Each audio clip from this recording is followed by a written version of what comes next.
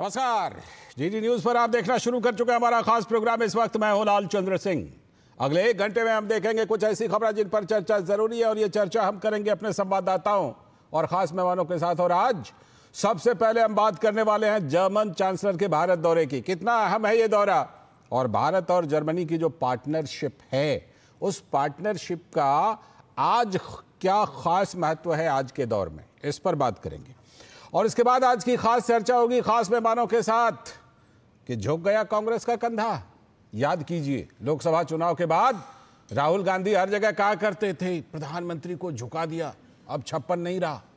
लेकिन आप देख रहे हैं, किस तरह से हर जगह पर कांग्रेस को सहयोगियों ने दबा दिया।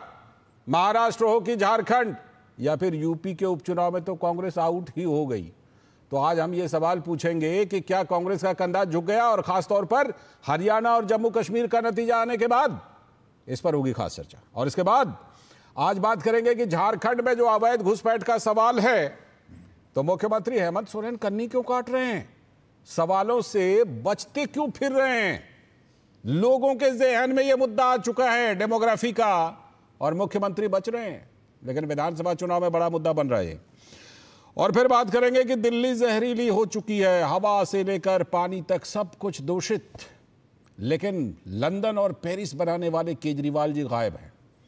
मुख्यमंत्री पद की तो कुर्सी वो पहले ही छोड़ चुके हैं। आतिशी जी कह चुके हैं, वो तो खड़ाऊ सीएम है। लेकिन बीजेपी अब कह रही है कि आइए, डुबकी लगाइए, यमुना में आपने बोला था। तो इस पर करेंगे बात।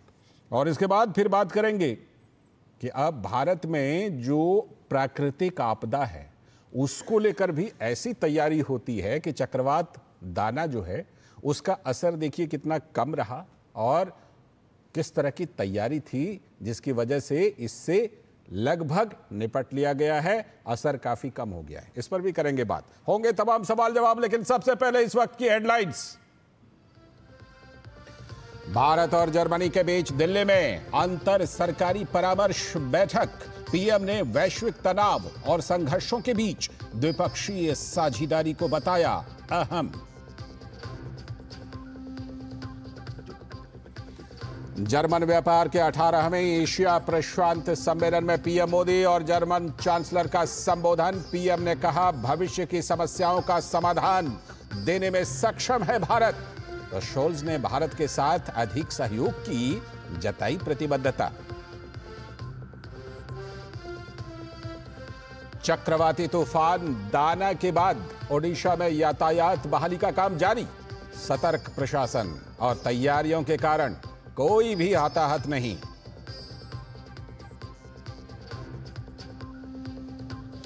झारखंड में पहले चरण के नामांकन के आखिरी दिन पर्चा भरने का काम जारी तो वहीं महाराष्ट्र में देवेंद्र फडणवीस सहित कई दिग्गजों का आज नामांकन। झारखंड में इस बार के विधानसभा चुनाव में अवैध घुसपैठ बनता जा रहा है। सबसे बड़ा मुद्दा, लेकिन मुख्यमंत्री हेमंत सोरेन का, इस मुद्दे पर मुँह खोलने तक से इनकार।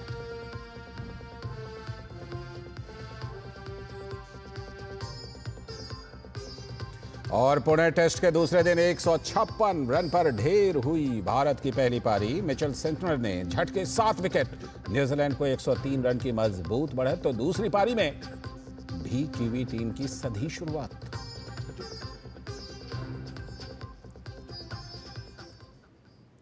ये थे इस वक्त की हेडलाइंस और अब देखते हैं खबरों को विस्तार से और आज हम सबसे पहले बात करेंगे जर्मन चांसलर के भारत दौरे की और किस तरह भारत और जर्मनी के बीच पार्टनरशिप आगे बढ़ रही है और कितना अहम है।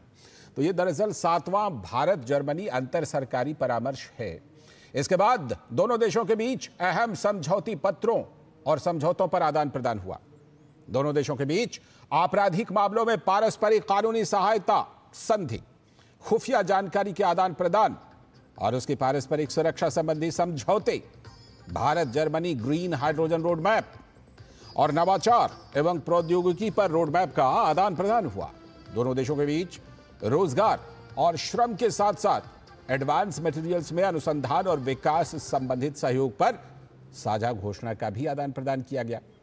इससे पहले भारत, जर्मनी अंतर सरकारी परामर्श में हिस्सा लेने के लिए जर्मनी के चांसलर ओलाफ शोल्स नई दिल्ली के हैदराबाद हाउस पहुँचे, जहाँ प्रधानमंत्री नरेंद्र मोदी ने उनका गर्मजोशी से स्वागत किया। भारत, जर्मनी सहयोग में विस्तार के दृष्टि से यह बैठक बेहद अहम है। भारत, जर्मनी के बीच के अंतर सरकारी परामर्श, संवाद और मंथन के विस्तृत सरकारी ढांचे की शुरुआत साल 2011 में हुई थी। यह मंच हर दो साल में दोनों देशों के मंत्रिमंडलों को एक साथ लाता है। आपको बताएँ कि जर्मनी एकमात्र ऐसा देश है जिसके साथ भारत इस तरह की बातचीत करता है। दोनों देशों के मंत्री अपने क्षेत्रों से संबंधित सहयोग पर बात करते हैं, जिसके बाद संवाद और मंथन की रिपोर्ट प्रधानमंत्री और चांसलर को दी जाती है। आज नई दिल्ली में अठारहवें एशिया प्रशांत जर्मन व्यापार सम्मेलन में प्रधानमंत्री नरेंद्र मोदी और जर्मनी के चांसलर ओलाफ शोल्स ने शिरकत की।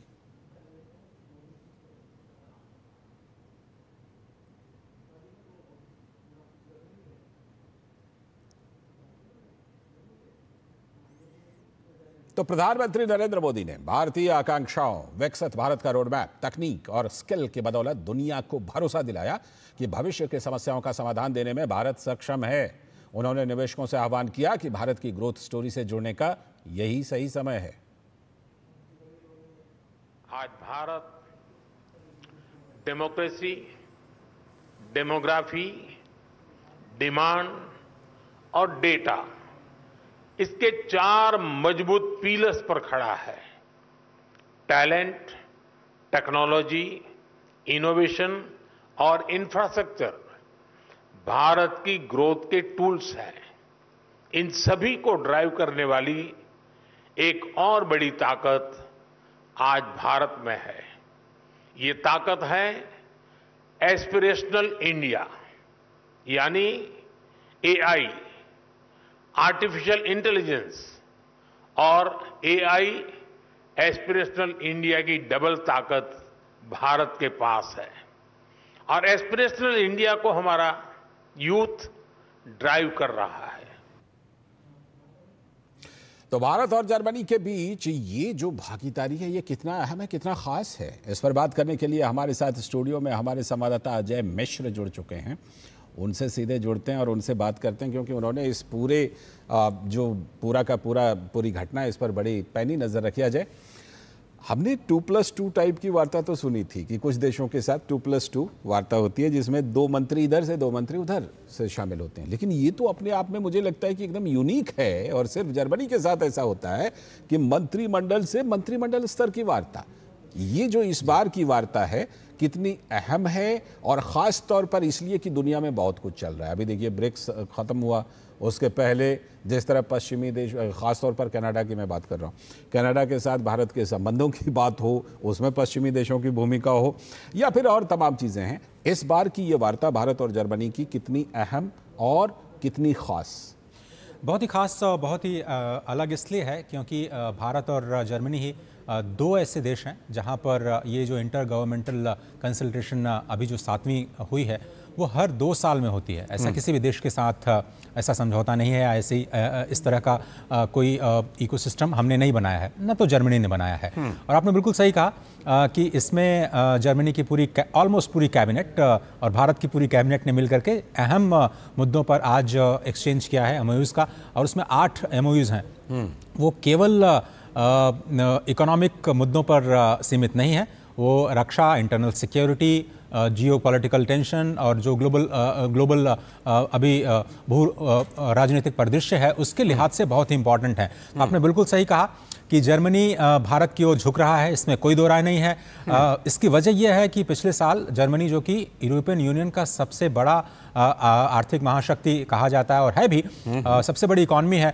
उसमें कॉन्ट्रैक्शन देखा गया। उसकी वजह यह कि रशिया और यूक्रेन का जब क्राइसिस शुरू हुआ तो अमेरिका के साथ पूरा का पूरा यूरोपियन यूनियन खड़ा नज़र आया और हम्म। उसने सैंक्शन लगा दिए रशिया पे। Sanctions hmm. एक दो हज़ार नहीं बल्कि 16,000 सैंक्शंस लगाए। आप सोचिए 16,000 सैंक्शंस के बाद रशिया के पास क्या ऑप्शन था कि उसने जो गैस की सप्लाई कर रखी थी यूरोपियन यूनियन को वो बंद कर दी। तो हुआ क्या कि जर्मनी की पूरी अर्थव्यवस्था चरमरा गई क्योंकि उनको पहले बहुत सस्ती गैस मिलती थी। फिर उन्होंने आपको याद होगा कि भारत पर सवाल उठाया कि सैंक्शंस लगने के बाद में आप तेल की खरीद खरीद क्यों कर सकते हैं? तो भारत ने भी तो जवाब दे दिया था कि यूरोप भी तो खरीद कर रहा है। बिल्कुल सही बात है। तो वही हाँ। जवाब सभी को मेरे ख्याल से याद होगा कि जो गैस है उसी गैस की कहानी ने पूरे जर्मनी की हालत बिगाड़ी और कल कल अगर आप कुछ दिन पहले आईएमएफ के आंकड़े देखे तो माइनस ज़ीरो परसेंट का कॉन्ट्रैक्शन 2023 में जर्मनी में देखा गया था और अभी दो क्वार्टर से उनकी अर्थव्यवस्था नेगेटिव टेरिटरी में है कॉन्ट्रैक्ट कर रही है।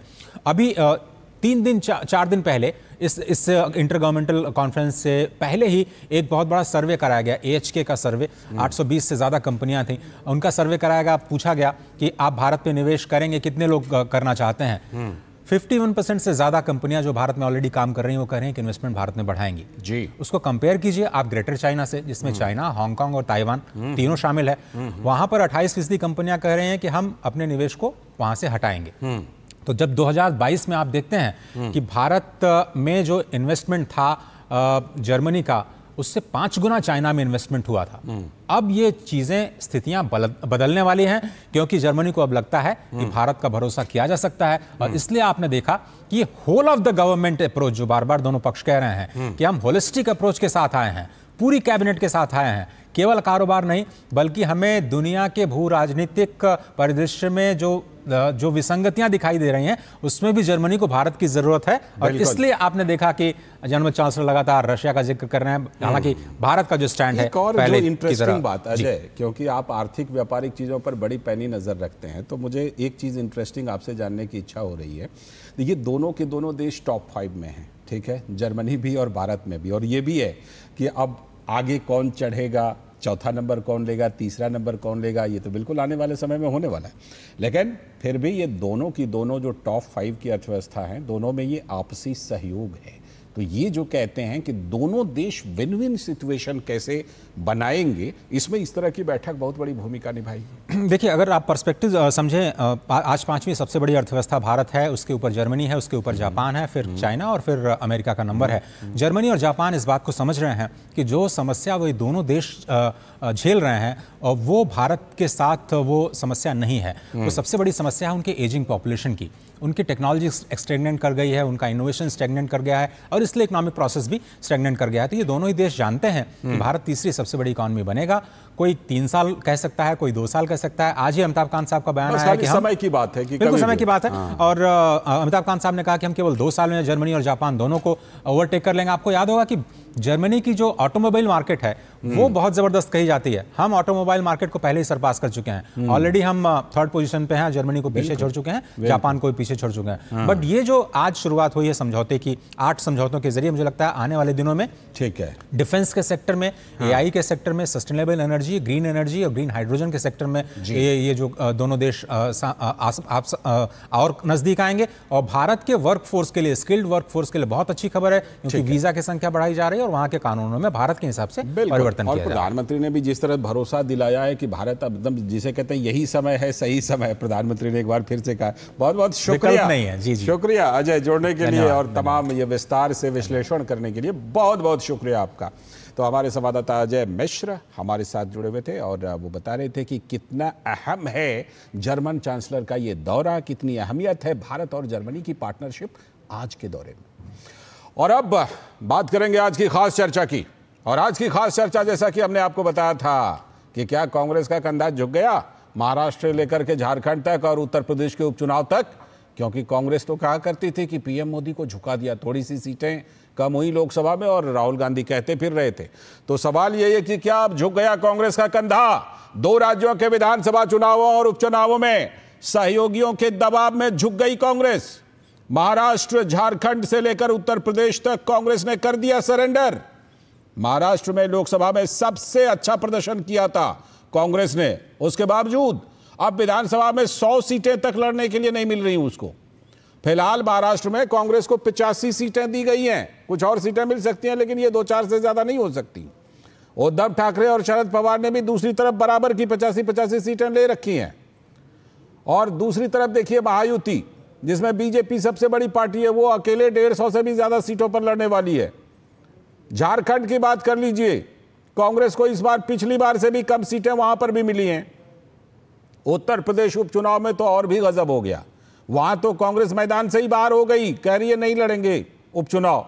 अखिलेश यादव दो सीटें दे रहे थे, अब कांग्रेस ने कहा नहीं नहीं लड़ना है हमें। लोकसभा चुनाव के नतीजे के बाद राहुल गांधी कहते फिरते थे कि पीएम मोदी को तो झुका दिया, छप्पन इंच अब नहीं रहा। लेकिन हरियाणा और जम्मू कश्मीर के नतीजे ने कांग्रेस और राहुल गांधी को ही लगता है झुकने के लिए मजबूर कर दिया क्या? हर जगह पर सहयोगी दल हावी हो गए हैं कांग्रेस के ऊपर, और कांग्रेस को पूरी तरह से झुकना पड़ रहा है।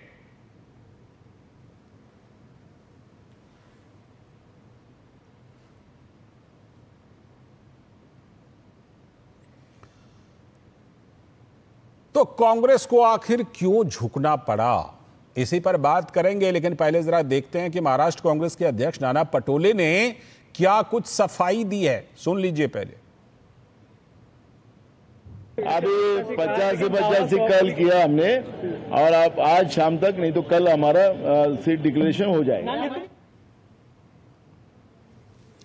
और अब हम आपको बताते हैं कि जो एकनाथ शिंदे गुट वाला शिवसेना है उसके नेता राजू वाघमारे ने कैसे सवाल पूछा है और कैसे एक तरह से कहें तो कांग्रेस के ऊपर कटाक्ष किया है? सुनिए।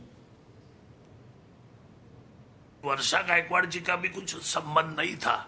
उनके पिताजी का संबंध कांग्रेस में था। उनको उठा के सीधा एमएलए बना दिया। आज वर्षा गायकवाड़ ने भी वही किया है। अपनी बहन को सीधा एमएलए का टिकट दिलवाया है। इससे साफ़ ज़ाहिर है कि कांग्रेस में आला कमान को जो पैसा पोस्ट करता है, जो खर्चा करता है, उसी के घर वालों को या उसी को कांग्रेस टिकट देती है। ये आपने सुना और अब ज़रा ये तो हो गई महाराष्ट्र की बात। लेकिन उत्तर प्रदेश में जैसा हमने बताया कि नौ सीटों के उपचुनाव में कांग्रेस ने पहले पाँच पर दावा ठोका। अखिलेश यादव ने अपनी तरफ़ से एक तरफा सीटों का ऐलान कर दिया। कांग्रेस के लिए दो छोड़ी। तो आप ज़रा देखिए कि उत्तर प्रदेश के जो उप मुख्यमंत्री केशव प्रसाद मौर्य हैं, उन्होंने क्या कुछ उपचुनावों पर कहा है? शानदार, सबका साथ, सबका विकास। और श्री अखिलेश यादव जी का परिवार का साथ और परिवार का विकास, गुंडों का विकास, माफियाओं का विकास, दंगाइयों का विकास। कांग्रेस अंतर्राष्ट्रीय पार्टी बनती थी, सबसे पुरानी पार्टी बनती थी। गठबंधन टाए टाए फिस हो गया, कांग्रेस और सपा का गठबंधन समाप्त हो गया। सपा अलग लड़ रही है, बसपा अलग लड़ रही है और भारतीय जनता पार्टी का विजय रथ आगे बढ़ रहा है। तो बीजेपी को तो मौका मिला है तो बीजेपी बोल रही है। ज़ाहिर सी बात है कि बीजेपी ये कहने की स्थिति में है, अविनाश राय।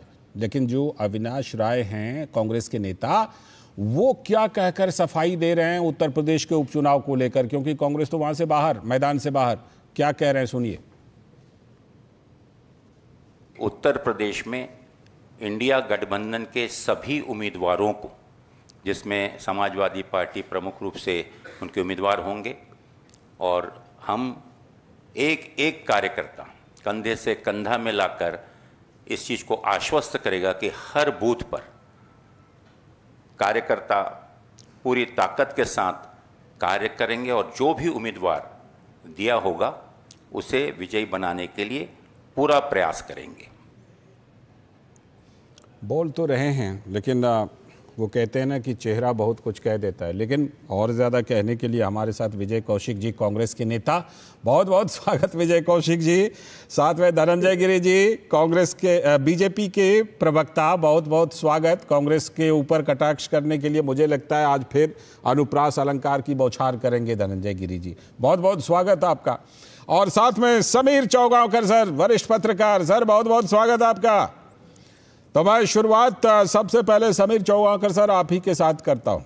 आज जो हमने सवाल पूछा है, वो सवाल इसीलिए पूछा है कि जब लोकसभा चुनाव का नतीजा आया तो राहुल गांधी ने पता नहीं कितने बार राहुल जी ने कहा, झुका दिया। छप्पन नहीं रहा। प्रधानमंत्री अब झुक कर, झुक करके चलते हैं। आँख नहीं मिला पाते हैं। इस तरह की मुझे लगता है आपने भी दर्जनों बार सुनी होगी लोकसभा चुनाव के बाद। लेकिन अब क्या लगता है कि हरियाणा और जम्मू कश्मीर के नतीजे ने कांग्रेस को इतना ज़्यादा झुका दिया कि यूपी उपचुनाव से आउट और महाराष्ट्र में सौ सीटों से भी कम। समीर सर। देखिए, आपने इंट्रो में कहा था कि कांग्रेस कुछ सहयोगी दलों ने झुका दिया और राहुल गांधी कहते थे कि प्रधानमंत्री मोदी को मैंने झुका दिया है। आज मैं कह सकता हूँ कि सहयोगी दलों ने कांग्रेस को डुबा दिया है। डुबा दिया यानी झुकने से भी ज़्यादा आप कह रहे हैं। बिल्कुल लगभग डुबा दिया है कांग्रेस को। आज कांग्रेस की स्थिति में आपको दो मिनट के अंदर पूरे हिंदुस्तान क्या बता देता हूँ। पश्चिम बंगाल के अंदर ममता बनर्जी का जब गठबंधन होता है तो ममता बनर्जी कैसे व्यवहार करती है? कि आप अधीर रंजन चौधरी की एक सीट चाहिए तो आप ले लीजिए बाकी घर बैठिए बिहार में जब आते हो तो तेजस्वी यादव कहते हैं कि बिहार में तो भाई एमवा समीकरण हमारा है। यहाँ पर आपका कोई वोट बैंक नहीं है। हम जो सीट देंगे उस पर आप लड़ देना। झारखंड में तो चुनाव चल रहे हैं। हेमंत सोरेन कहते हैं मैं जो दूँगा उतने सीट पे आप लड़ दो। महाराष्ट्र के अंदर जो कांग्रेस इतनी बड़ी पार्टी थी तेरह सीटें लोकसभा की जीती हुई पार्टी है। शिवसेना टूट गई शरद पवार की पार्टी टूट गई। उसके बाद भी और शिवसेना कहते हैं कि पिचासी पिचासी सीटें बढ़ेगी। एक सीट आप ज़्यादा की डिमांड आप हमसे नहीं करोगे।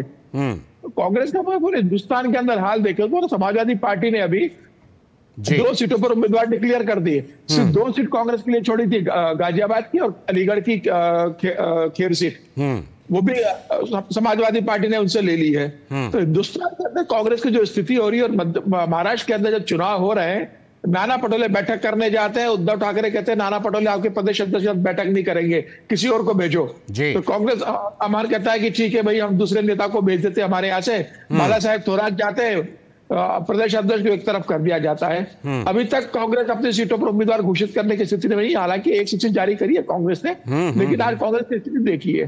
तो पूरे देश के अंदर कांग्रेस के साथ जो स्थिति हो रही है भाजपा के साथ आप आमने सामने की लड़ाई लड़ नहीं सकते। सहयोगी दल आपको भाव डालने को तैयार नहीं है। सहयोगी दल के साथ मिलकर आप भाजपा को चुनौती देते हो तो सहयोगी दल कह देते हैं कि उत्तर प्रदेश में जो छह सीट कांग्रेस ने जीती है वो समाजवादी पार्टी की दे रहे हैं। जी बिल्कुल बिहार में जो सीट जीती है, है वो तेजस्वी यादव के कारण संभव हो पा रहा है हम्म। तमिलनाडु में स्टेलिन कहता है दक्षिण में अगर कुछ मिल रहा है तो हमारे कारण मिल रहा है। तो कांग्रेस की पूरे देश के अंदर जो हालत हो रही है मुझे लग रहा है उसकी दशा देख के मुझे बड़ा दुख होता है तो अठारह में बड़ी बनी हुई पार्टी जो पूरे देश पे राज करती थी जी जी। आज लोकसभा चुनाव के बाद नन्यानवे सीटें आने पर राहुल गांधी को ऐसा लगता है बिल्कुल। कि जैसे उन्होंने बिल्कुल दो तिहाई बहुमत उन्हें मिल गया है हम्म। तो दो हज़ार उनतीस के अंदर वो देश के प्रधानमंत्री बनने जा रहे हैं। ठीक है। लौटता हूँ सर लौटता हूँ आपके साथ। आपके पास लौटता हूँ लेकिन विजय कौशिक जी हम सबको पता है कि आप कांग्रेस के उन नेताओं में हैं जो शुरू से ये बात कहते रहे कि नहीं एक सीमा से ज़्यादा हमें क्षेत्रीय दलों और सहयोगियों के आगे नहीं झुकना चाहिए और कांग्रेस को अपने दम पर खड़ा होना चाहिए। लेकिन ऐसा लग रहा है विजय जी महाराष्ट्र हो झारखंड हो यूपी उपचुनाव हो कांग्रेस पूरी तरह से और बुरी तरह से दबाव में आ गई और झुक गई। विजय जी क्या फैक्टर रहा ऐसा देखिए ये कोई दबाव नहीं है। हम्म। ये हमारी पार्टी के जो रणनीतिकार हैं हम्म। उनकी रणनीति है। हम्म। रणनीति ये है कि भी आज़ादी के लिए हमारे देश के जो कांग्रेस के जो नेता थे उन्होंने देश के लिए अपनी जान की कुर्बानी दी। हम्म। अब हमारे नेता तो कुर्बानी दे नहीं सकते अपनी जान की फ़िलहाल। इसलिए पार्टी की कुर्बानी देने की पूरी तैयारी बहुत खूब बहुत खूब बहुत खूब बहुत खूब। पूरी कर ली गई है। हमारा मिशन केवल अब लोकसभा को लेकर रह गया है हाँ। ऐसा लगता है क्योंकि राहुल जी के नेतृत्व में कांग्रेस पार्टी ने देश भर में बड़ा अच्छा प्रदर्शन किया है बहुत बड़ी अच्छी जीत हासिल की है हम्म। इसलिए विधानसभा चुनाव अब हमारी पार्टी के नेताओं के लिए महत्वपूर्ण नहीं रहे हैं हम्म। मेन मुद्दा यही है कि इसी तरीके से मोदी जी को एक बात जोड़ देता हूँ इसमें एक बात जोड़ देता हूँ यही तर्क देकर के उद्धव सेना कह रही है कि हमने कांग्रेस को लोकसभा में दी बहुत सारी सीटें अब हमें छोड़ दे। तो मैं कहता हूँ इसी तर्क पर आप उद्धव जी को सीएम मान लीजिए शिवसेना को और ज़्यादा सीटें दे दीजिए और अपना हो सके तो बिल्कुल समेट लीजिए और ज़्यादा समेट लीजिए फिर। देखिए मैंने कहा ना कि हमारे नेता खुद की जान की कुर्बानी देने में असमर्थ है। इसलिए कुर्बानी तो पार्टी की दी जाएगी हम्म। निश्चित तौर पर।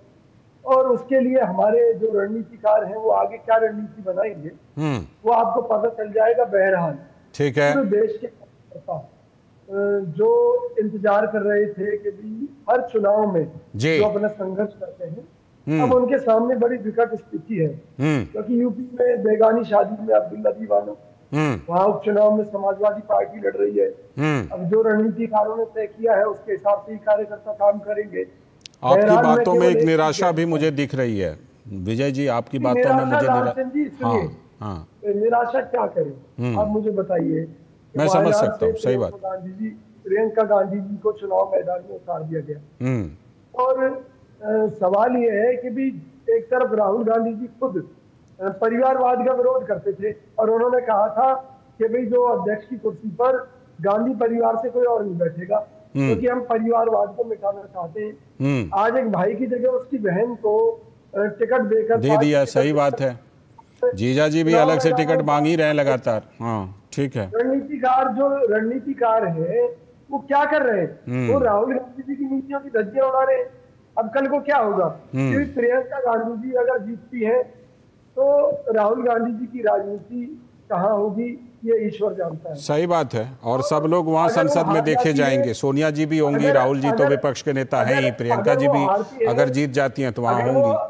अगर वो हारती है तो भी कांग्रेस पार्टी की क्या परिस्थिति होगी ठीक है लौटता हूँ आपके पास। हमारा नुकसान है। ठीक ठीक। धनंजय गिरी जी आपने देख लिया कांग्रेस कुर्बानी मोड में आ गई है। ठीक है विजय जी ने अब दुख भरी बातों में ही हालाँकि उन्होंने कही है कि भाई कांग्रेस अब पार्टी की कुर्बानी दे रही है।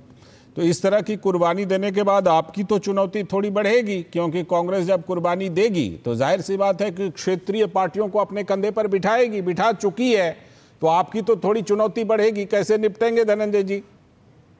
लालचंद जी दो बातें इन्होंने बहुत इंपॉर्टेंट कही। हम्म। पहले इन्होंने कहा है कि कांग्रेस कुर्बानी दे रही है और बाकी उनके गठबंधन के सहयोगी दल इनके हम्म। बकरीद बना रहे हैं। हम्म। तो इनकी कुर्बानी पे उनकी बकरीद चल रही है। दूसरी बात तो वही ज़मीन कांग्रेस की थी जो आजकल क्षेत्रीय दलों के पास है।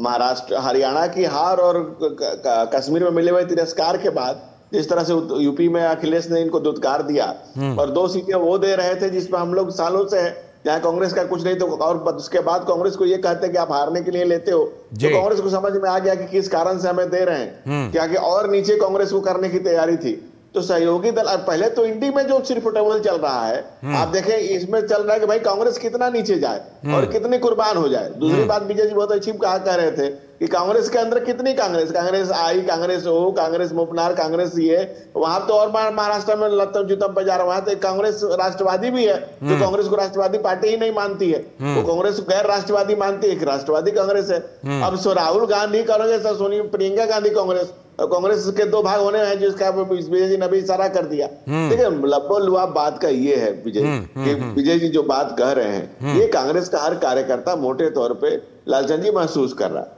कांग्रेस के आने वाले दिन बहुत कठिन है और इसलिए है कि कांग्रेस जो है एक परिवार के बल से अपनी राजनीतिक कोई विचार का बल नहीं है। हम्म। वो एक परिवार का सोनिया जी आदरणीय सोनिया जी संसद में है राहुल गांधी है प्रियंका गांधी है। तो परिवार से चलने वाला दल कितना दिन चल पाएगा? और कितना सबल हो पाएगा? और इस तरह से के भाई पाँच पीढ़ियों से अगर एक राजनीतिक पार्टी एक परिवार के कब्जे में है तो कोई भी स्वतंत्र चेतना का व्यक्ति उस पार्टी का मेंबर नहीं होना चाहेगा। क्योंकि हम्म। दुनिया के लोकतंत्र में ऐसी नजीर आपको देखने के लिए नहीं मिलेगी। तो कांग्रेस एक परिवार के द्वारा चलने वाला एक दल है हम्म। जिसमें जिसके छल बल से किसी तरह एक परिवार का कुछ संपत्तियाँ बचा के रखनी है हम्म। कुछ चीज़ें कुछ घपले घोटालों को छुपा के रखना है तो ये कांग्रेस कोई भी स्वतंत्र चेतना का व्यक्ति ठीक है आपके सवालों पर मैं जवाब लूँगा। आपके सवालों पर विजय जी का भी जवाब लूँगा और समीर सर से भी ज़रूर चर्चा करूँगा। एक छोटा सा ब्रेक ले लेते हैं आप सभी बने रहिएगा। छोटे से ब्रेक के बाद इस चर्चा को आगे बढ़ाएँगे।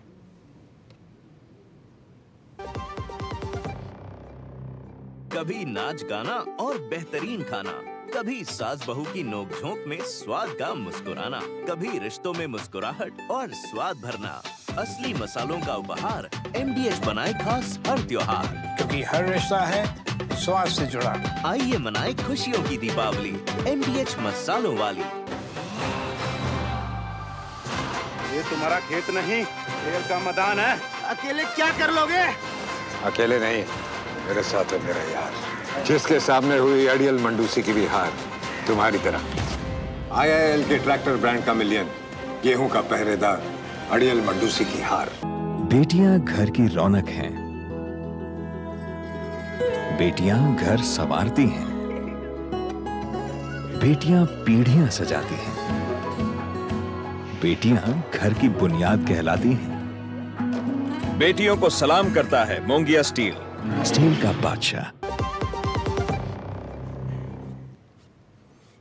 स्वागत है ब्रेक के बाद, और हम आज खास चर्चा ये कर रहे हैं कि कैसे कांग्रेस को झुकना पड़ा है महाराष्ट्र से लेकर झारखंड और उत्तर प्रदेश तक। शिशिर शेलार हमारे संवाददाता मुंबई से दिख रहे हैं।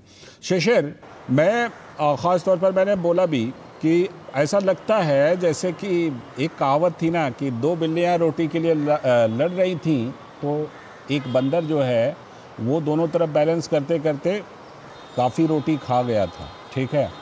जिस तरह पचासी पचासी सीटें बटी हैं, सब में शशिर एक तो सबसे पहले मुझे लगता है कि एनसीपी को इसी टाइप का फ़ायदा मिला है शरद पवार जी को। और दूसरी बात ये, अब मुझे लग रहा है कि कांग्रेस शायद सौ सीट नहीं छू पाएगी अपने कैंडिडेट को लड़ाने के मामले में। क्या मैं सही हूँ? बिल्कुल देखिए इस वक्त अगर जिस प्रकार से फॉर्मूला किया हुआ है पचासी पचासी पचासी का और जो सीटें बची हैं तो ऐसे में अगर देखा जाए तो सभी सीटें भी अगर कांग्रेस को मिलती है तो भी सौ का आंकड़ा गांठना शायद कांग्रेस के लिए मुश्किल हो जाएगा दूसरी महत्वपूर्ण बात इसमें यह है कि जो सीटें बची है उस पर भी इस वक्त चर्चाएँ चल रही है कि किसको आखिर कितनी सीटें हम्म। जो है मिलनी चाहिए हम्म।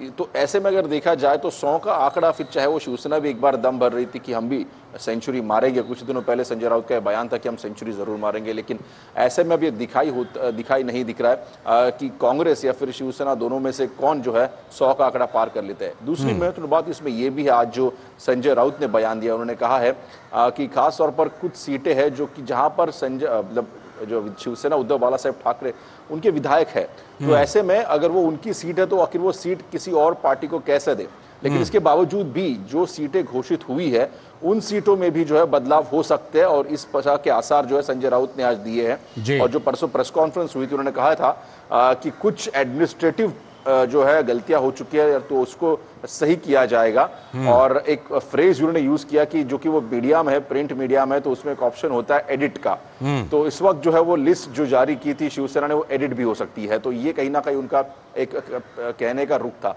हम्म। और दूसरी महत्वपूर्ण बात जिस प्रकार से अब ये फॉर्मूला तय हो चुका है पचासी पचासी पचासी का इसमें अगर देखा जाए तो पिछली विधानसभा की पिछली लोकसभा की अगर सीटें देखें तो सबसे ज़्यादा सीटें जो है कांग्रेस को मिली थी चौदह हम्म। सीटें कांग्रेस जो है लोकसभा में जीती और अच्छा स्ट्राइक रेट भी था। कांग्रेस स्ट्राइक रेट बहुत अच्छा था। हाँ। अच्छा? हम्म। बिल्कुल अच्छा स्ट्राइक रेट था। कम हम्म। सीटों में चौदह जो है उन्होंने जीत पाई थी और उसके बावजूद भी अब पचासी पे फॉर्मूला जो है ये तय हो चुका है। लेकिन अंदरूनी कांग्रेस का अगर एक रुख अगर देखे तो उससे खुश नहीं है। 105 की मांग जो है कांग्रेस के नेता जो है एक तबका कांग्रेस का वो ज़रूर कर रहा है कि एटलीस्ट 105 सीटें हम्म। इसमें मिल जाए और हम्म। ये भी कह रहा है कि अगर इसमें ज़्यादा विन विन सिचुएशन है तो वो शरद पवार की है तो ऐसे में जो कांग्रेस और जो विपक्ष है वो एक बात ये कह रहा है कि कांग्रेस इस वक्त जो है शरद पवार के सीनियोरिटी के कारण और दूसरी बात जो शिवसेना का कठोर रवैया है उसके कारण जो है यहाँ पे झुकती हुई दिखाई में तो आ गई है। ठीक है लौटता हूँ आपके पास। समीर सर क्या मुख्य वजह ये रही कि हरियाणा और जम्मू कश्मीर का जिस तरह से नतीजा आया उससे कांग्रेस कहीं ना कहीं सहयोगी दलों के हाथों ब्लैकमेल हो गई इसीलिए इतना ज़्यादा झुक गई क्या? देखिए इसका एक असर ज़रूर रहा है कि जो हरियाणा में जो चुनाव परिणाम आया है उसके हिसाब से कांग्रेस झुकी है लेकिन वैसे भी अगर आप महाराष्ट्र की राजनीति देखेंगे हम्म। तो शिवसेना एक प्रभावशाली गुट रहा हालाँकि शिवसेना टूट गई एक नाथ शिंदे चालीस विधायक लेके चले गए हम्म। लेकिन उसके बाद भी लोकसभा चुनाव में नए नाम नए सिम्बॉल के साथ उद्धव ठाकरे ने एक अच्छा प्रदर्शन किया था हम्म। और शरद पवार तो वैसे भी महाराष्ट्र के एक बड़े खिलाड़ी रहे कांग्रेस से निकल के राष्ट्रवादी कांग्रेस बनाई है और कहा यह भी जाता है कि महाराष्ट्र की कांग्रेस को आधा तो शरद पवार ही चला देते। हैं हम्म। जितने महाराष्ट्र कांग्रेस के नेता वो शरद पवार के सब शिष्य रहे राजनीति के अंदर। और हम्म। देखिए बड़े नेता कांग्रेस में कौन बचे? अशोक चौहान भारतीय जनता पार्टी में चले गए। हम्म। आपके मिलिंद देवड़ा शिवसेना के अंदर चले जाते हैं। सुशील कुमार शिंदे की कोई राजनीतिक स्थिति बची नहीं है। पृथ्वीराज चौहान को पार्टी में कोई पूछ नहीं रहा है।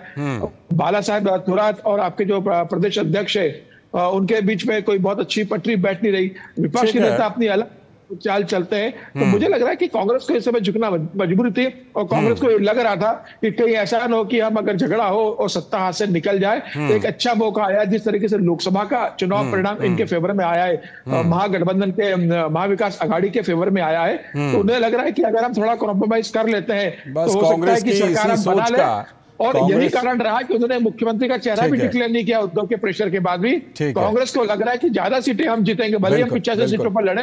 ऐसे स्थिति में अगर हमारी सरकार आती है महाविकास आघाड़ी की तो हम अपना मुख्यमंत्री कांग्रेस की इसी सोच का कहीं ना कहीं सहयोगी दलों ने पूरा फ़ायदा उठा लिया ऐसा लग रहा है। विजय जी विजय जी जिस तरह से कि अब कांग्रेस जा रही है मैदान में ऐसा लगता है इसी सोच के तहत जा रही है।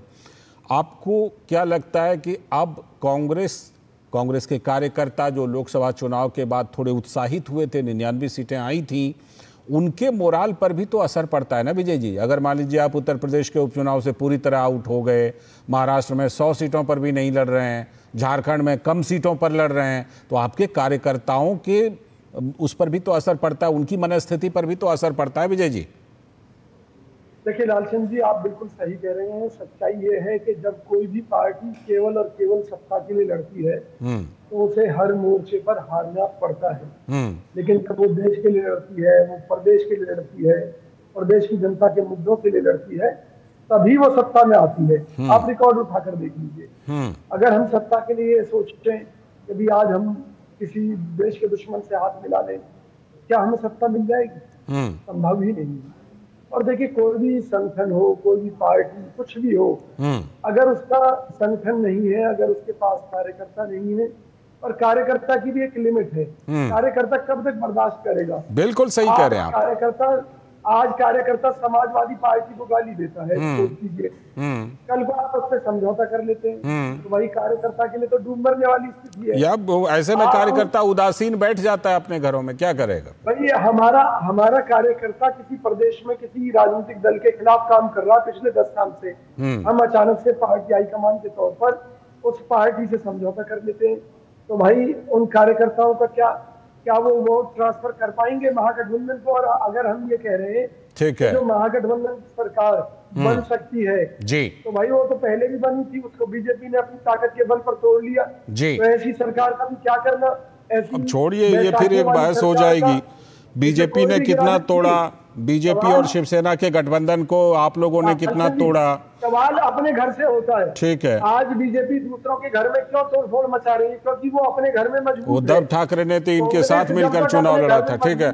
चलते चलते धनंजय जी का एक कमेंट। धनंजय जी धनंजय जी आप तो मुझे लगता है जिस तरह कांग्रेस झुकने को मजबूर हो, हो रही है आप तो मुझे लगता है एक बार फिर से ये कहना चाहेंगे हरियाणा और जम्मू कश्मीर के मतदाताओं का शुक्रिया। नहीं तो सर झुकाना पड़ता है लालचंद जी जनता के कदमों में। सियासत में यहाँ सरदारी नहीं आती। और हम जनता के कदमों में सर झुकाकर यहाँ तक आए हैं और जनता के लिए काम करके दुनिया के सारे विचारकों का सार्थक तो आदरणीय नरेंद्र मोदी ने दिया है सबका साथ सबका विकास सबका विश्वास सबका प्रयास। और कांग्रेस का है कि सबको मिलाकर सिर्फ़ एक परिवार का विकास। तो सारा परिवार के लिए चलने वाला काम है और ये पूरे हम लोग देश को एक परिवार मानते हैं। राष्ट्र के लिए और जो कह रहे थे भाई साहब बिल्कुल ठीक कर रहे थे। कांग्रेस की कलई ही खोलते जा रहे थे। सोने भाई जिस तरह से परिवारवाद चल रहा है उनका और कांग्रेस जिस तरह से मिटती जा रही है धीरे धीरे कांग्रेस एक विशेष दल होता था अब शेष हो रहा है आने वाले चुनाव के बाद उसके अवशेष आपको खोजने पड़ेंगे कि कांग्रेस मिलेगी कहाँ। बहुत ज़बरदस्त कॉम्बिनेशन आपने विशेष शेष और अवशेष ठीक है अवशेष भी नहीं मिलेंगे ठीक है बहुत बहुत शुक्रिया धनंजय जी जुड़ने के लिए विजय जी जुड़ने के लिए समीर सर आपका भी और शिशिर आपका भी जुड़ने के लिए बहुत बहुत शुक्रिया इस खास चर्चा में जुड़ने के लिए। तो आज हम इस खास चर्चा में बात कर रहे थे अपने खास मेहमानों से कि कांग्रेस कितनी दबाव में आ गई और किस तरह से कांग्रेस को झुकना पड़ा। अब जरा झारखंड, जहाँ पर विधानसभा चुनाव हो रहा है, वहाँ पर इस बार सबसे बड़ा मुद्दा क्या बनने जा रहा है उसकी बात करेंगे। दरअसल वहाँ अवैध घुसपैठ का जो सवाल है, वो इस बार सबसे बड़ा मुद्दा बनने जा रहा है। दरअसल झारखंड विधानसभा के पहले दौर के चुनाव के लिए नामांकन की आज आखिरी तारीख है तो नामांकन भरने का दौर चल रहा है। और राज्य में मोटे तौर पर अगर देखिए तो एनडीए और इंडी गठबंधन, यही दो गठबंधन आमने सामने हैं, बिल्कुल। प्रमुख विपक्षी बीजेपी ने इस बार अवैध घुसपैठ को बड़ा मुद्दा बनाकर उठाया है। दरअसल झारखंड के कई जिलों में तेज़ी से बदल रहा है आबादी का अनुपात। और ये क्यों बदल रहा है? क्योंकि अवैध बांग्लादेशी और रोहिंग्या घुसपैठिए आदिवासियों की जमीनों पर कब्जा कर रहे हैं। ये आंकड़े आ गए ऑफिशियल आंकड़े हैं। झारखंड हाईकोर्ट ने इस बारे में भी पूछा है। तो ये कोई हवा हवाई बात नहीं है। इसलिए लोगों के बीच इस बार अवैध घुसपैठ का मुद्दा काफ़ी चर्चा में है। तो बीजेपी झारखंड की हेमंत सोरेन सरकार से लगातार पूछ रही है इस पर सवाल कि क्या किया घुसपैठ को लेकर? क्या कर रहे हैं? कुछ तो बोलिए। लेकिन हेमंत सोरेन लगातार टालने की कोशिश कर रहे हैं इस अहम सवाल को। तो झारखंड विधानसभा चुनाव पर इस बार इस अवैध घुसपैठ वाले मुद्दे का बड़ा असर हो सकता है क्योंकि बीजेपी और एनडीए लगातार इसको उठा रही है और चंपई सोरेन जैसे नेता जो कि उधर से छोड़कर इधर आए हैं, वो भी इसे बड़ी मजबूती के साथ इस मुद्दे को उठा रहे हैं।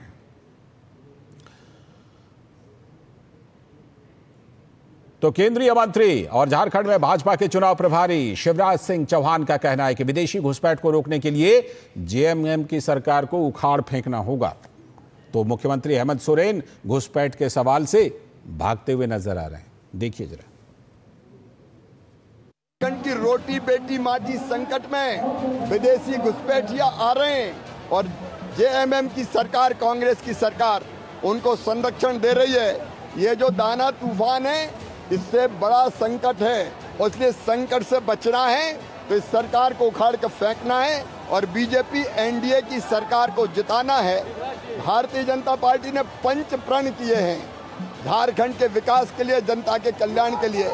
ये पंच प्रण ही हमारे पाँच पांडव है, जो अन्याय, अत्याचार, भ्रष्टाचार की सरकार को उखाड़ के फेंकेंगे। तो कहना चाहूँगा, ये जाकर के आपने भारत सरकार का आंकड़ा निकाल के देख ले कि कौन से जिला में, कौन से राज्य में किस तरीके से आंकड़े में बदलाव हुआ है। जाके बंगाल में देखे, बंगाल का आंकड़ा क्या है और पता कीजिए झारखंड में अलग अलग जिलों का आंकड़ा क्या है। तो आसपास पता चलेगा कि यहाँ कोई डेमोग्राफी में बदलाव नहीं, सब अमन चैन से रह रहे हैं, खुशी अमन से रह रहे हेमंत सोरेन कह रहे हैं कि कोई डेमोग्राफी में बदलाव नहीं, झारखंड हाईकोर्ट इस पर पूछ चुका है, सवाल वहाँ की राज्य सरकार से। दिवाकर कुमार, हमारी संवाददाता रांची से जुड़ रहे हैं। इस पर और ज़्यादा बात करने के लिए। दिवाकर, एक तो सबसे पहली बात, मुझे ऐसा लग रहा है कि जिस तरह से ये मुद्दा चर्चा में आया है और जिस तरह लगातार इसको उठाया जा रहा है, ना तो सवालों से बचने से काम चलेगा और ना मुझे ऐसा लगता है कि ये कहने से काम चलेगा कि बंगाल का डेटा देखिए, उधर का डेटा देखिए, इधर का डेटा देखिए। भाई, झारखंड हाई कोर्ट इस बारे में कह चुका है तो सीएम के ये कहने से काम चलेगा क्या? देखिए जो संथाल परगना में बांग्लादेशी घुसपैठ का मुद्दा है। वो काफ़ी दिनों से झारखंड में एक तरीके से कह सकते हैं हल्ला धुल वाली स्थिति में चल रही है। भारतीय जनता पार्टी आसू पार्टी तमाम दल जो है वो हमला वाले की राज्य सरकार ने उस पर कोई नियंत्रण नहीं किया और खुले तौर पर जो वो जियोग्राफी है वो बदल रही है। कई आंकड़े भी प्रस्तुत किए गए हाईकोर्ट ने भी इस मामले में जो पीआईएल जारी किया गया था उस पर उन्होंने संज्ञान लिया और उसके बाद केंद्र और राज्य सरकार दोनों को नोटिस जारी किया। केंद्र ने बकायदा हलफनामा दाखिल कर जो है उन्होंने जवाब भी दाखिल किया है किस तरीके से जो डेमोग्राफी का आंकड़ा बदला है झारखंड में इसका भी उन्होंने प्रमाण भी दिया है। प्रमाण और आंकड़े सब कुछ जो है वो डाटा के ज़रिए उजागर हो चुके हैं। बयानबाजी तो अपनी जगह है लेकिन अब चुनावी मौसम भी है झारखंड का। तो हो सकता है मुख्यमंत्री इस तरह की चीज़ों से अलग जा रहे होंगे। चुनावी जो दौर है उसमें बीजेपी इस मुद्दे को लेकर पूरी तरीके से हमलावर है आपको याद होगा थोड़ी देर पहले मैं भी दो बजे भी लाइव कर रहा था तो उस दौरान चंपई सोरेन जब नेगोशिएशन करके दिखे थे तो उन्होंने भी साफ़ तौर पर कहा ठीक है वो पहले जेवन में थे उस दौरान अलग मुद्दे थे अलग बातें थी लेकिन उस दौरान भी उनको इस चीज़ की खलल थी कि झारखंड में जो संथाल का डेमोग्राफी है वो बदल रहा है और वहाँ पर तो आदिवासी अस्मिता है वो कहीं ना कहीं खतरे में तो इसको लेकर लगातार जो हम कह सकते हैं इंडी गठबंधन झारखंड में विपक्ष के निशान पर रहा है और हाईकोर्ट ने चूँकि मामले में सबको पक्ष रखने को कहा था वहाँ के जो उपायुक्त है उनको भी बकायदा पक्ष रखने को कहा गया था कि आप डाटा के साथ आगे होंगे उसके बाद उनको भी फटकार लगाई थी सरकार को भी बकायदा कहा गया कि आप फॉलो ठीक है। सरकार को बोलेगा तो तमाम ये जो ठीक है। चल रही है तौर पर खुले तौर पर डाटा आंकड़े और जब आप ग्राउंड में जाते हैं तो चीज़ें बदलती भी दिखती है। मैं भी कई बार संभाल का और कर कर आया हूँ तो वो चीज़ें तो दिखती है। बिल्कुल। आरोप प्रत्यारोप का जो दौर चल रहा है वो कहीं ना कहीं ज़मीन पर भी दिखता जी दिवाकर ठीक है। बहुत बहुत शुक्रिया बहुत बहुत शुक्रिया जुड़ने के लिए और विश्लेषण करने के लिए। तो ये तो बिल्कुल साफ़ है कि लोगों के जहन में ये मुद्दा आ चुका है और ख़ास तौर पर आदिवासियों के जहन में ये मुद्दा आ चुका है। तो ऐसे कहने से और भागने से काम तो चलेगा नहीं। वक्त है अभी एक ब्रेक का। ब्रेक के बाद जब लौटेंगे तो देखेंगे कि दिल्ली की हवा, पानी सब कुछ जहरीली हो गई है और अरविंद केजरीवाल गायब हैं। आतिशी जी कह चुके हैं, वो खड़ाऊ सीएम हैं। करेंगे इस पर बात। बने रहिए डीडी न्यूज़ के साथ। उड़ान, प्रधानमंत्री नरेंद्र मोदी जी के विजन से बनी योजना, जिससे हवाई चप्पल पहनने वालों का भी हवाई जहाज़ का सपना हुआ पूरा। आज देश के हर राज्य में है एयरपोर्ट। एविएशन सेक्टर बन रहा है वर्ल्ड क्लास इमरजेंसी में बीमार माँ को इलाज के लिए बेटे बड़े अस्पताल ले जा पाते हैं। नॉर्थ ईस्ट में एयर कनेक्टिविटी से टूरिज़्म के मौके बढ़े। लोकल कारोबारी, ढाबे होटल वाले सब की तरक्की के रास्ते खुले। उड़ान लोकल इंस्पिरेशन की, उड़ान रीजनल इकोनॉमी की, उड़ान विकसित बनते भारत की। उड़ान योजना के आठ साल बेमिसाल।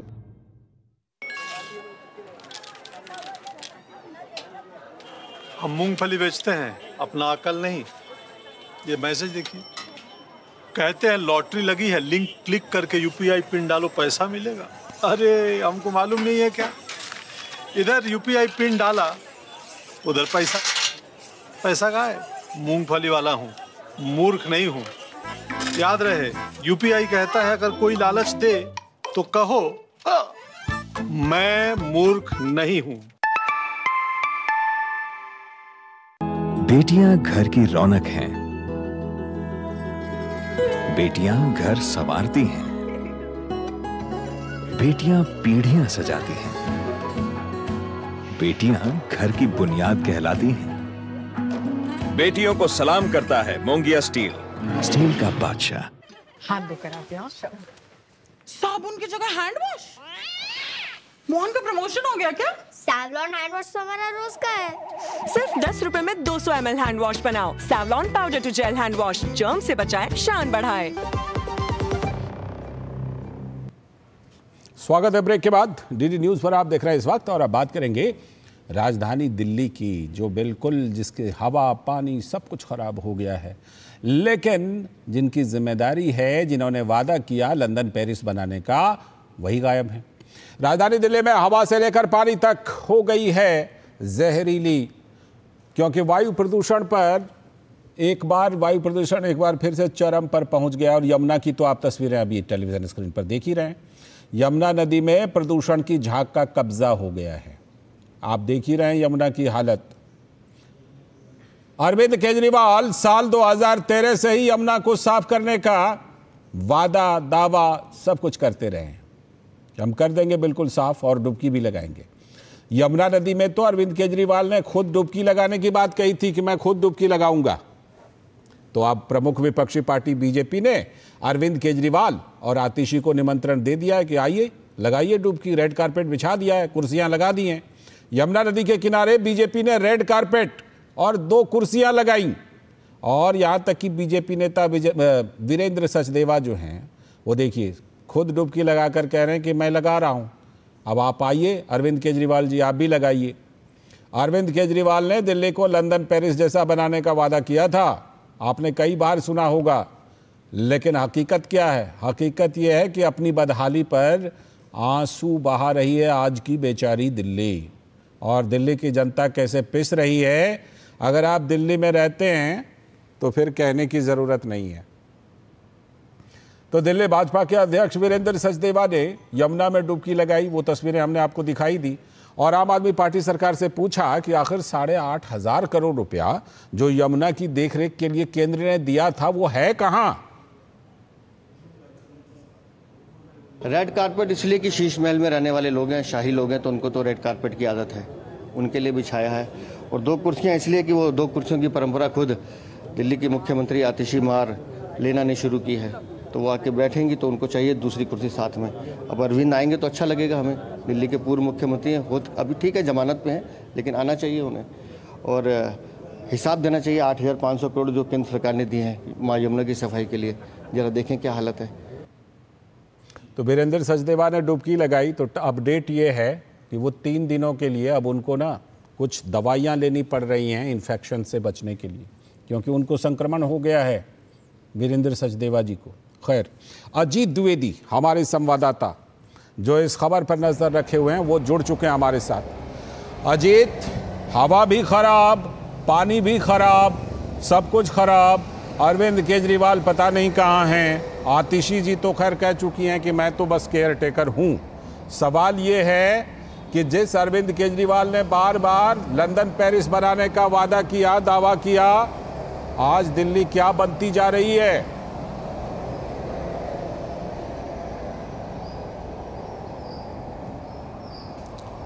बिल्कुल देखिए लालचंद, हम पिछले कई दिनों से इस खबर को कवर कर रहे हैं और आज सुबह से ही मैं फिर लगातार इसको कवर कर रहा हूँ। तो सुबह से ही हवा पानी की आपने बात की तो मैं हवा का बताऊँ आपको कि सुबह से ही जब हम निकले थे सुबह सात बजे यहाँ पर इसको कवर करने के लिए पूरे शहर में धुंध छाई हुई थी और जो आईक्यू लेवल जो था वो वो जो है वो 300 के ऊपर था 400 के पार कई इलाकों में था हम्म। यानी कि जहरीली हवा जो है वो हो चुकी थी जब राहगीरों से हमने बात की तो राहगीर जो थे जो सुबह सैर पे निकलते हैं जो साइकिलिंग करते हैं उनका साफ़ कहना था कि पिछले कुछ दिनों से उनका दम घुट रहा है उनकी साँसें फूल रही है आँखों में जलन हो रही है और वो अब उनका घरों से निकलना मुश्किल होता जा रहा है हम्म। ऐसे ही जब हम यमुना के किनारे गए तो वहाँ देखा कि किस तरीके से झाग जो है जहरीला झाग जो है उसकी परत बिछी हुई है और लगातार ये झाग बह रहा है अरविंद हम्म। केजरीवाल और आम आदमी पार्टी की सरकार ने दावा किया था कि 2024 तक में यमुना को नहाने लायक डुबकी लगाने लायक बना दिया जाएगा लेकिन पिछले 10 सालों में इसका कोई भी असर जो है बातों का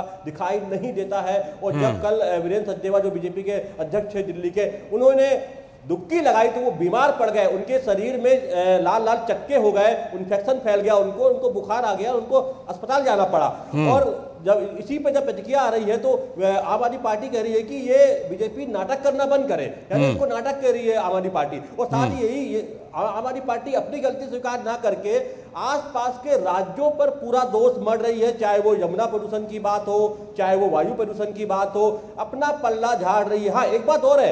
यहाँ पर पंजाब में आम आदमी पार्टी की सरकार है उसको वो क्लीन चिट दे रहे हैं हम्म। लेकिन अन्य राज्यों को हरियाणा है उत्तर प्रदेश है उस पर आम आदमी पार्टी उंगली उठा रही है और कह रही है कि पूरा प्रदूषण तो यहाँ से आ रहा है हम क्या करें हम्म। लेकिन आप खुद जानते हैं पिछले दस वर्षों में दिल्ली में जिस तरीके से गंदगी का अंबार तो रहा है उसके अलावा जिस तरीके से प्रदूषण फैला है बिल्कुल। वो दिल्ली वासी बहुत करीब से देख रहे हैं उस घुटन को महसूस कर रहे हैं और घुटन को हम भी महसूस कर रहे हैं। जब हम कवरेज पे जाते आप हैं तो नहीं खुल हमसे बात आप करते ही हैं नहीं सुप्रीम कोर्ट के सुप्रीम कोर्ट के मुख्य न्यायाधीश भी महसूस कर रहे हैं। अजीत सुप्रीम कोर्ट के मुख्य न्यायाधीश भी महसूस कर रहे हैं। उन्होंने डॉक्टरों की सलाह पर सुबह की सैर छोड़ दी है। मुख्य न्यायाधीश चंद्रचूड़ जी ने कहा कि हैं बिल्कुल। हमने आम लोगों से भी बात की तो वो भी महसूस कर रहे हैं। बिल्कुल ये बताइए कि ये यमुना जिस तरह से अभी झाक का कब्जा हो गया है छठ पूजा महाव्रत जिसे महापर्व कहते हैं वो आने वाली है। कैसे श्रद्धालु इस बार वहाँ पर डुबकी लगाएँगे?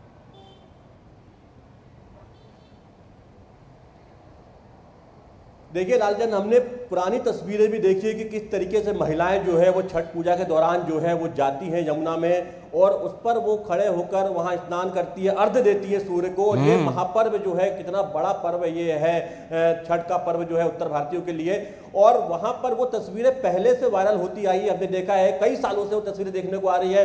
लोगों ने कई बार सोशल मीडिया पे कमेंट किया कि ऐसा लग रहा है कि बादलों के ढेर पर कोई खड़ा होकर सूर्य को अर्ध दे रहा है। हम्म। लेकिन ऐसा लगता है कि तस्वीर बदलने बदलने वाली नहीं है इस बार भी वही तस्वीर रहने वाली है। कोई बदलाव कोई परिवर्तन नहीं होने वाला है। मिलाकर बदहाली पर आँसू चिंता की बात यह है कि जो लोग वहाँ पर नदी में जाएँगे उनको कहीं बीमारी ना फैल जाए। अगर वो बिल्कुल। डुबकी लगाते हैं वीरेंद्र तो सचदेवा तो बीमार पड़ भी गए पड़ भी गए बीमार। बहुत बहुत शुक्रिया आपका।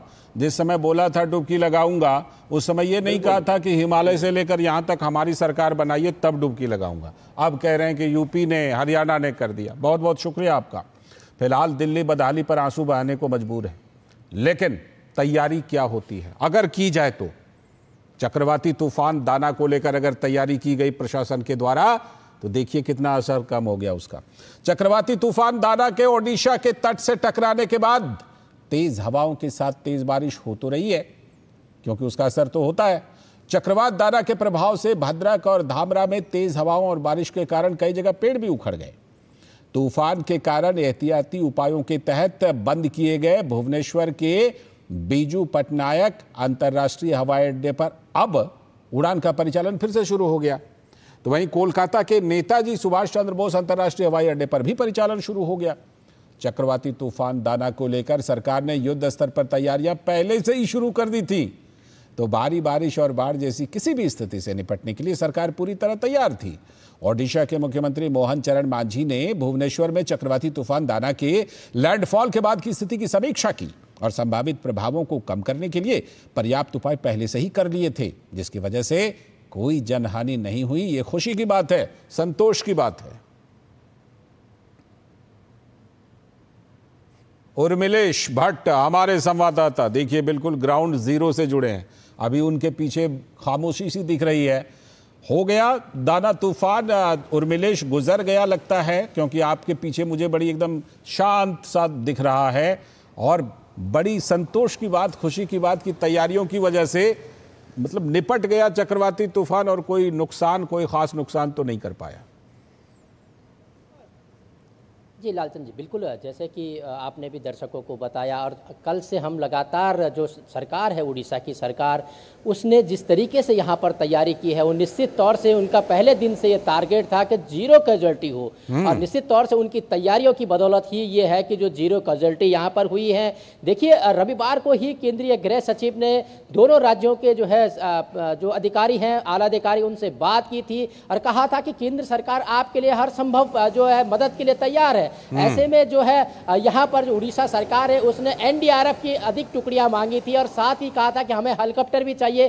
तुरंत गृह जो गृह सचिव है उन्होंने कहा था कि हम आपको जो है पूरी मदद करेंगे। तो निश्चित तौर से पहले दिन से ही सोमवार से ही कहा जाए कि पूरी तरीके से जो है यहाँ पर युद्ध स्तर पर तमाम तैयारियाँ कर दी गई थी। हम्म। इतना तक कहा जा कहा गया है प्रशासन की तरफ़ से कि पोस्ट जो इसके बाद मतलब चक्रवात के बाद जो नुकसान होगा उसके आकलन तक की जो है कमेटियाँ की बात की गई थी कि किस तरीके से कमेटी बैठेंगे अगर कोई नुकसान किसानों का होता है और वो जो है यहाँ पर अपनी रिपोर्ट सौंपेगी और जो भी किसानों का जो है नुकसान होगा उसकी जो है उसका जो मुआवजा सरकार देगी। तो निश्चित तौर से यहाँ पर जो है एनडीआरएफ को एडवांस में बुला दिया गया था यहाँ की ओ है उसको बुला दिया गया था और जो अग्निशमन के अलावा जो है कोस्ट गार्ड और नौसेना को भी जो अलर्ट मोड पर रखा गया था। हम्म। इतना ही नहीं जो गोताखोर है उनको भी अलर्ट मोड पर रखा गया था और खुद जो है यहाँ के मुख्यमंत्री कल रात भी साढ़े ग्यारह बजे के आसपास उन्होंने जो है।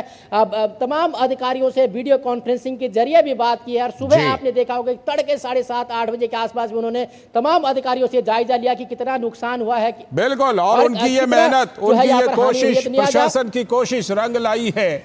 प्रशासन की कोशिश रंग लाई है तभी तो आपके पीछे अभी इतना शांत वातावरण देख रहा हूँ। बहुत बहुत शुक्रिया। और मिलेश ग्राउंड ज़ीरो से जुड़ने के लिए और वहाँ की सारी स्थिति को बताने के लिए। यही बात हम कह रहे थे। दिल्ली में दो दो सीएम है, एक खड़ाऊ सीएम, एक वर्चुअल सीएम। वहाँ मोहन चरण मांझी अकेले हैं। देखिए तैयारियों का असर।